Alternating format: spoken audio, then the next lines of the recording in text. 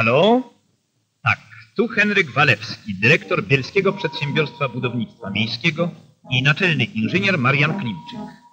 Z gmachu przy ulicy Armii Czerwonej w Bielsku wychodzą codziennie dyspozycje do 13 kierownictw robót budowlanych i zakładów robót pomocniczych. Tu powstają plany operacyjne, dzięki którym tak duży mechanizm działa sprawnie i wykonuje swoje zadania produkcyjne. Budowlani z Bielska penetrują tereny województwa krakowskiego, a nawet kieleckiego. W przeciągu 15 lat przedsiębiorstwo wybudowało 826 nowych budynków mieszkalnych, 15 szkół, 15 przedszkoli i żłobków, internaty, domy kultury, domy wczasowe. Oto jeden z nich. Jesteśmy na budowie domu wczasowego w Bielsku-Olszówce. Ten imponujący obiekt służyć będzie za miejsce wypoczynku członkom Związku Zawodowego Pracowników Transportu. Budowę rozpoczęto w 1961 roku, a z początkiem 1963 roku obiekt zostanie oddany do użytku. Bielskie Przedsiębiorstwo Budownictwa Miejskiego wychowało sobie kadrę zdolnych fachowców, ofiarnych pracowników. Oto brygada mechanicznego tynkowania kierownika Józefa Niemczyka. Wnioski racjonalizatorskie pozwoliły przedsiębiorstwu uzyskać oszczędności ponad dwumilionowe. Szkoły, przedszkola, żłobki. Działalność przedsiębiorstwa to nie tylko budownictwo mieszkaniowe, lecz także socjalne. Również i w tej dziedzinie bielskie przedsiębiorstwo może odnotować poważne sukcesy.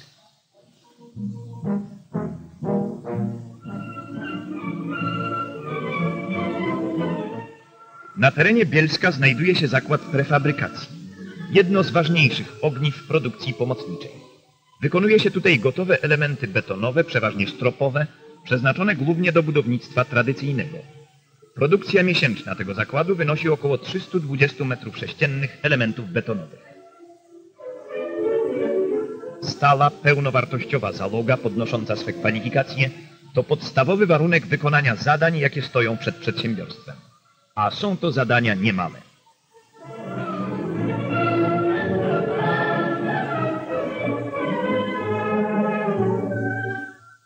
Przed nami panorama miasta, które w przeciągu paru lat z małej prowincjonalnej mieściny, w dodatku zrujnowanej w czasie działań wojennych w 80%, stać ma się dużym, nowoczesnym organizmem miejskim.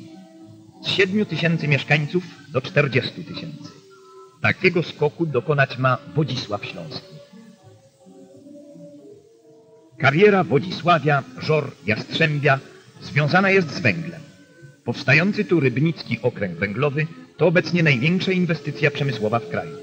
W niedalekiej przyszłości powstanie tu dziewięć nowych kopalni, a istniejące już zostaną zmodernizowane i znacznie powiększone.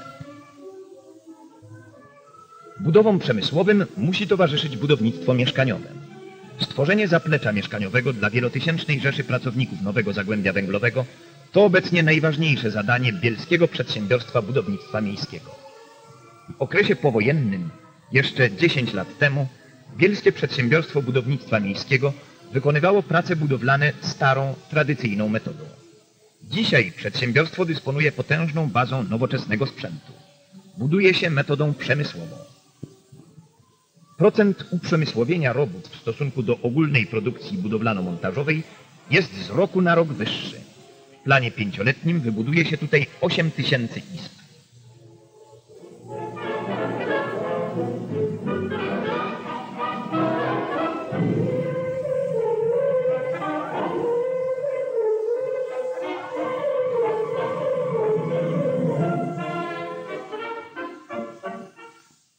W Rydultowach pod Rybnikiem bielskie przedsiębiorstwo posiada duży zakład pomocniczy. Powstają tutaj elementy wielkopłytowe przeznaczone dla budownictwa na terenach objętych szkodami górniczymi. Jest to pierwsze tego rodzaju i na tak dużą skalę zakrojone przedsięwzięcie w budownictwie na obszarze całego województwa katowickiego. Poligon prefabrykacji elementów wielkopłytowych stanowi ważne ogniwo w układzie produkcyjnym przedsiębiorstwa. Dalszy rozwój tego typu zakładu pomocniczego określa stopień mechanizacji, a więc eliminowanie prac ręcznych, uciążliwych i pracochłonnych oraz mechanizacja transportu. To ostatnie dotyczy zarówno surowca, jak i wyrobów gotowych. Szanse podniesienia wydajności pracy są tutaj olbrzymie I choć postęp techniczny na tym odcinku wiele ma jeszcze do zdziałania, on właśnie jest i w tym wypadku głównym punktem zainteresowania kierownictwa, jak i całej załogi przedsiębiorstwa.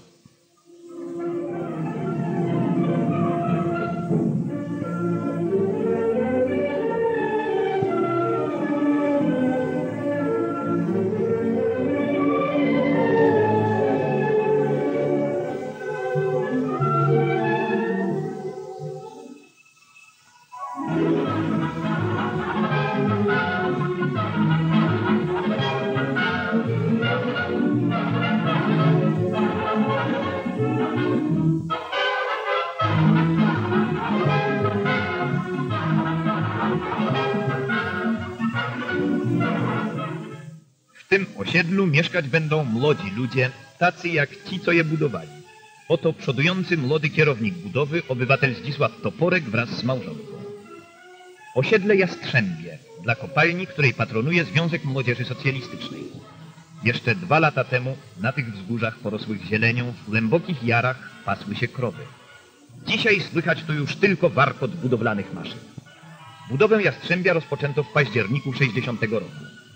W ciągu jednego tylko roku oddanych zostanie tutaj do użytku 800 izb. Szybko na naszych oczach zmienia się krajobraz tej części Śląska.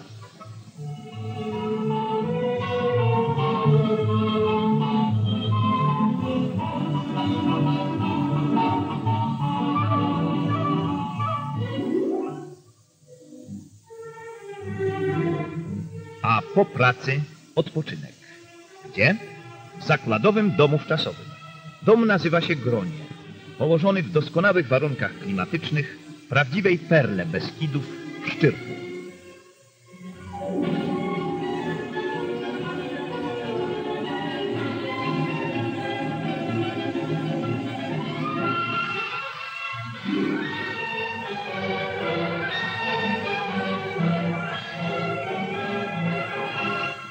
Inny dom wczasowy, Beskid w Mielnie Koszalińskim, gdzie w sezonie letnim przebywa na wczasach około 200 osób. Tu można wypocząć i nabrać siły do dalszej pracy. Bielskie Przedsiębiorstwo Instalacji Sanitarnych Budownictwa Miejskiego. Spawanie elementów z tworzyw sztucznych. Technika idzie naprzód.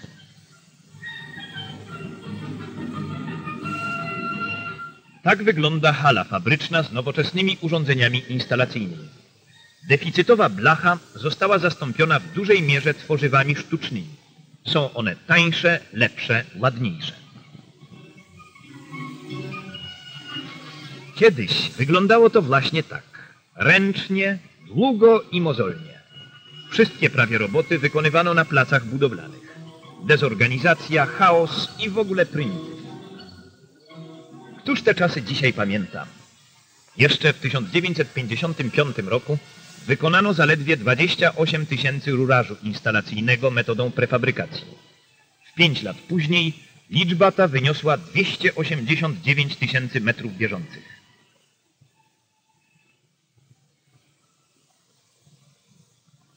Wyszkolono 218 nowych monterów, 202 kwalifikowanych spawaczy. Opłaciły się te inwestycje nie mniej niż rozbudowa zakładów.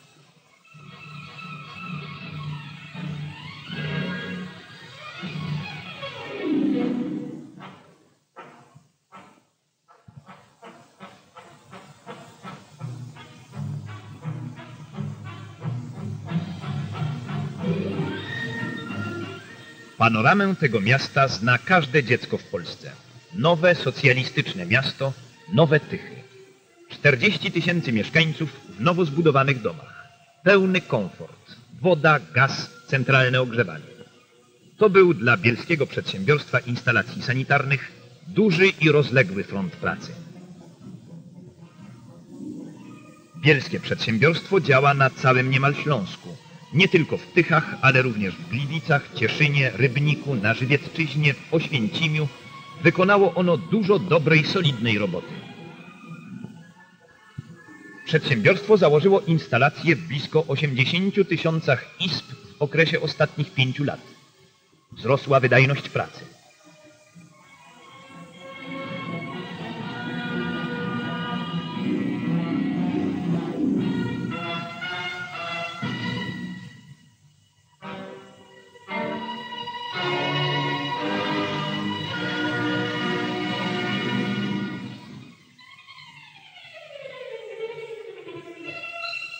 Ale wracajmy do nowych tych. Urządzenia nowej kotłowni. To również dzieło bielskich instalatorów. Nowe, dobrze działające urządzenia, ba cała magistrala cieplna dla osiedla tego miasta, to było dla przedsiębiorstwa coś w rodzaju egzaminu, który, jak osądzają to mieszkańcy, wypadł zupełnie dobrze. Stare urządzenia zastąpiono nowymi rozwiązaniami, przynoszącymi znacznie lepsze wyniki. Przedsiębiorstwo, które zrodziło się z luźno ze sobą powiązanych grup instalatorskich, stało się rzeczywiście prężnym, sprawnym organizmem.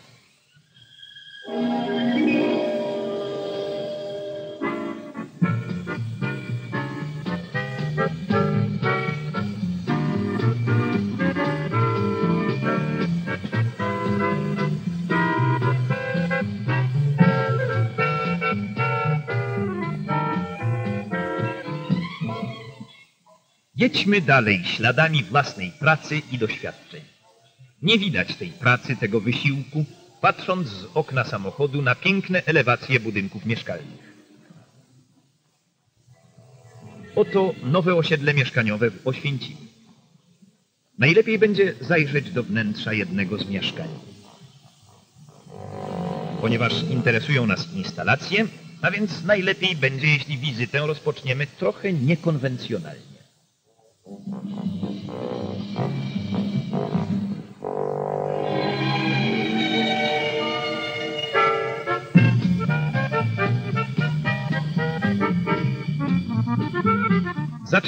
od łazienki. Przypatrzmy się tej porannej toalecie. Całkiem przyjemnie tutaj, prawda? Jak w salonie. Instalacje i wnętrze tych urządzeń sanitarnych osiedlowego przedszkola to również praca bielskich instalatorów. Do tej łazienki dzieci same chętnie chodzą. Mydła i wody się nie boją i żaden wicherek do tego zachęcać ich nie musi.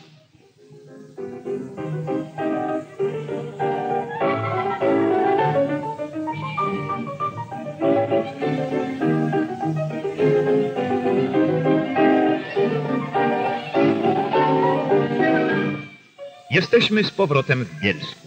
Nowe bloki przy ulicach Karola Miarki, Wandy Wasilewskiej, Grunwaldzkiej. Tu również zakładano instalacje. W tych blokach mieszkają pracownicy przedsiębiorstwa. Ładne, prawda? I dalej w drogę, tym razem zakładowym autobusem przeznaczonym na wycieczki i w czasy niedzielne dla pracowników. W Międzybrodziu, w otoczeniu pięknej zieleni, bielskie przedsiębiorstwo zorganizowało ośrodek kempingowy, a w Lebie posiada własny ośrodek wypoczynkowy przeznaczony na wczasy rodzinne. Miło tu jest w Międzybrodziu w otoczeniu przyrody, nad wodą, nie tą ujarzmioną, doprowadzoną skomplikowanym systemem rur, ale taką, w której przy odrobinie szczęścia i rybę złowić można. Dobrego wypoczynku! Raj dla turystów otwarty. Właściwie dopiero kolejka linowa na Szyndzielnie umożliwiła masowe zwiedzanie tej pięknej części Śląskiego Beskidu.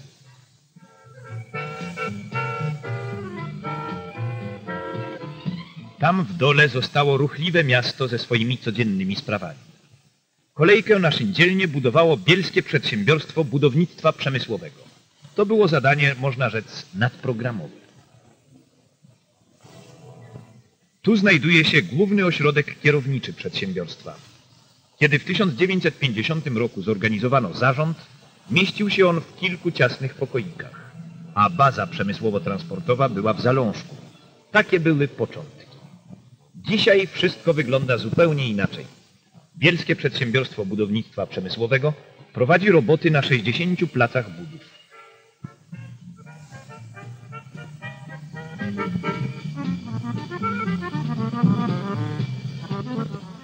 Po zbadaniu terenu pod przyszłą budowę na plac wyjadą maszyny. W Żywcu Zadziele budowa w toku. Jednym z mierników pozwalającym ocenić działalność danego przedsiębiorstwa budowlanego, a zwłaszcza przedsiębiorstwa budującego obiekty przemysłowe, jest skrócenie czasu budowy, co w konsekwencji doprowadza do coraz lepszych wyników ekonomicznych. Bielskie Przedsiębiorstwo Budownictwa Przemysłowego wywiązuje się z tego zadania w zadowalającym stopniu. Dzieje się tak dzięki sprawnej organizacji, dyscyplinie załogi i wysokiemu poziomowi przygotowania fachowego.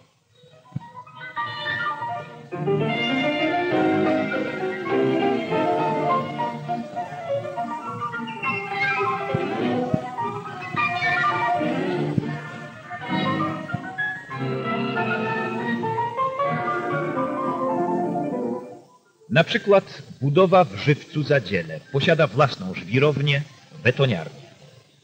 Tutaj też następuje montaż prefabrykatów, słupów i innych elementów konstrukcyjnych.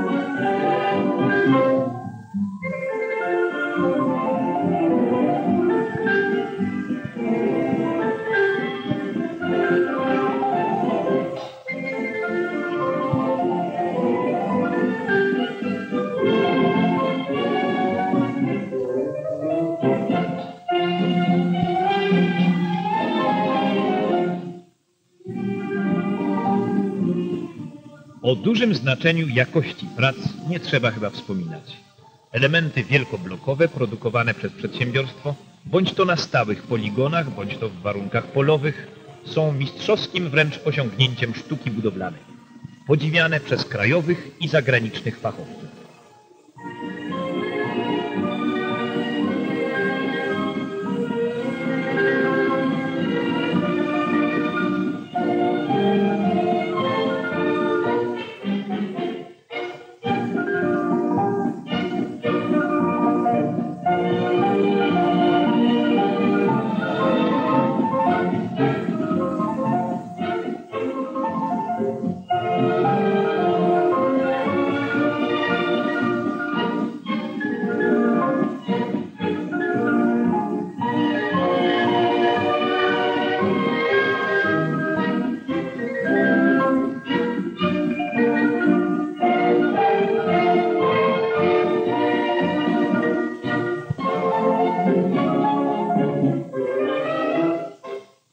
A oto jedna z 60 budów, jakie prowadzi przedsiębiorstwo.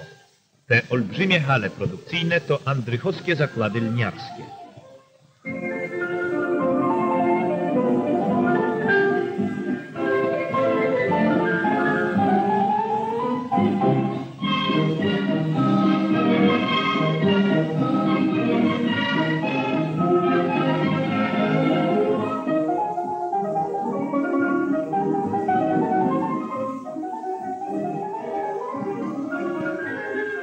Albo inne zakłady budowane przez bielskich budowlanych. Elewacja wytwórni silników elektrycznych A8 w Bielsku.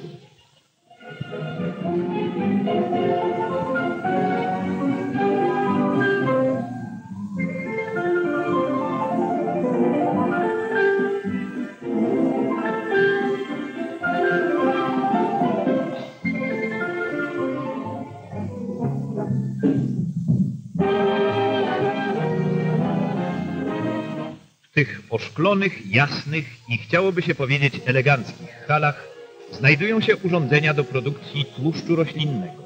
Są to bielskie zakłady przemysłu tłuszczowego.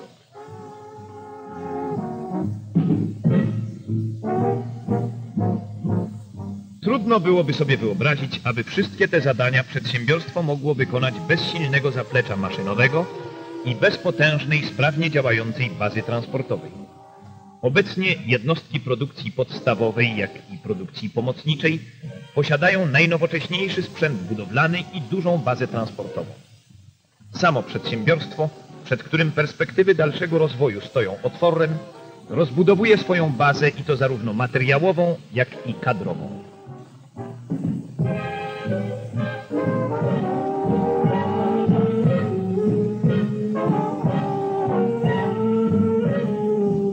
Życzymy im nowych sukcesów. Bądźcie pewni, że je osiągną.